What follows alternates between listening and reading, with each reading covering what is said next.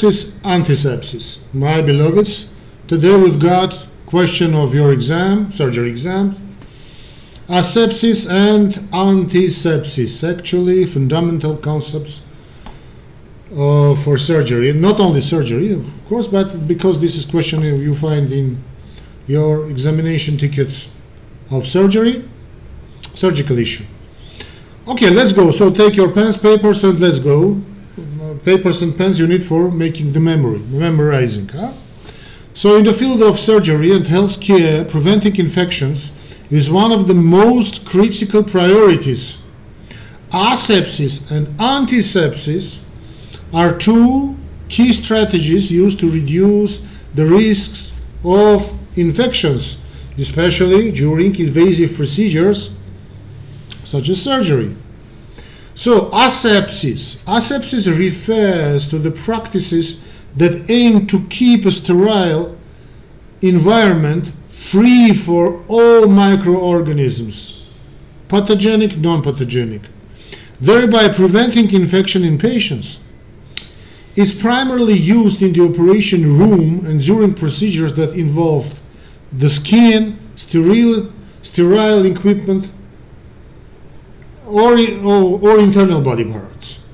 So principle of asepsis, sterilize field as the designated area that is kept free of microorganisms.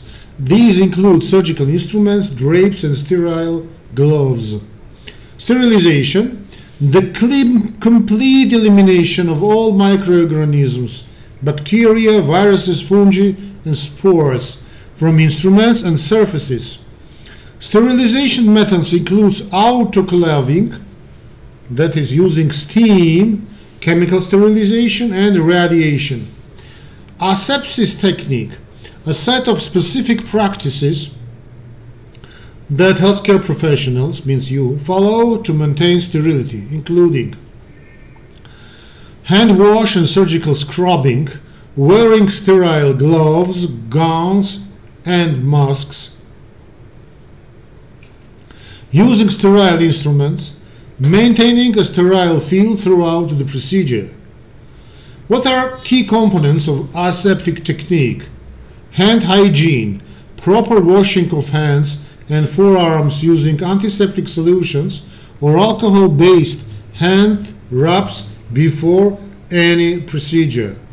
Sterilization of instruments and equipment ensuring that surgical instruments, drapes, and other equipment are sterile. Personal protective equipment, PPE, wearing sterile gowns, gloves, masks, and eye protection. Okay, if you want to pronounce sterile, no, no big question. Uh, of course, more correct is not sterile, but sterile. So wearing sterile gowns, gloves, masks, and eye protection. Sterile, let it be sterile, sterile field, creating and maintaining a sterile area around the patient, ensuring that only sterilized equipment or sterilized, sterilized equipment and personnel touch the sterile field. So it's very important, this technique, so no surgeons, especially nurses, know it very well. So no touch technique, avoid direct contact with non-sterile objects or surfaces during the procedure.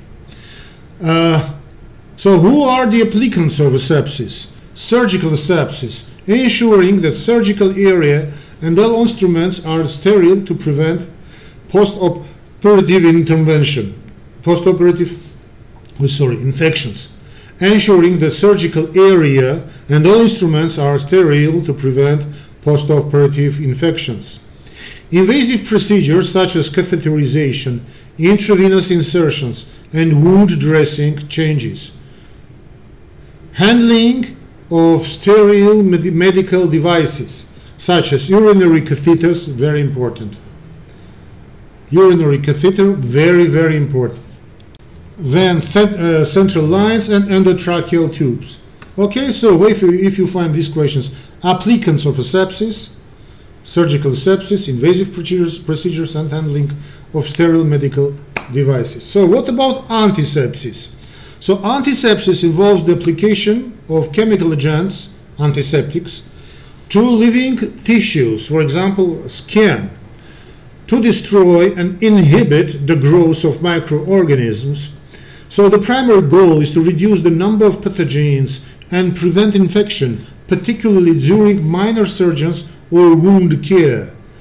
What are principles of antisepsis? Antiseptic agents, chemical apply, chemicals applied to the skin or mucous membranes to prevent infections by reducing the microbial load. Target antisepsis doesn't achieve sterility, complete elimination of all uh, micro, uh, microorganisms, but reduce the microbial count to a level that is considered safe.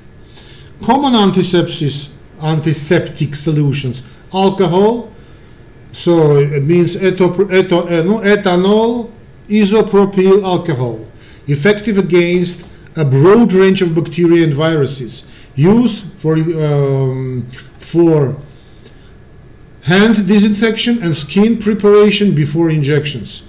Chlor, chlorhexidine, chlorhexidine. So this chlorhexidine is a powerful antiseptic used in skin disinfection before surgery or invasive procedures. Povidone iodine, and as antiseptic with a broad spectrum of activity, often used for preoperative skin preparation. Hydrogen peroxide, primarily used for wound cleaning. Hydrogen peroxide. So, my beloveds, we have to need the key applicants, key applications of antisepsis. Uh, preoperative skin preparation, applying antiseptic solution solutions to the surgical site before making an incision to reduce the microbial load. Wound care, cleaning and dis disinfecting open wounds, cuts and abrasions with antiseptic, antiseptics to prevent infection. Hand antisepsis, healthcare workers apply antiseptic hand wraps to reduce the bacterial load before and after patient contact or performing procedures. So if you have now, I see the question, the differences between asepsis and antisepsis. Okay, let's stop on this topic. Definition, asepsis, methods to prevent contamination from microorganisms, sterility. Antisepsis, use of chemical agents to reduce microorganisms on living tissues.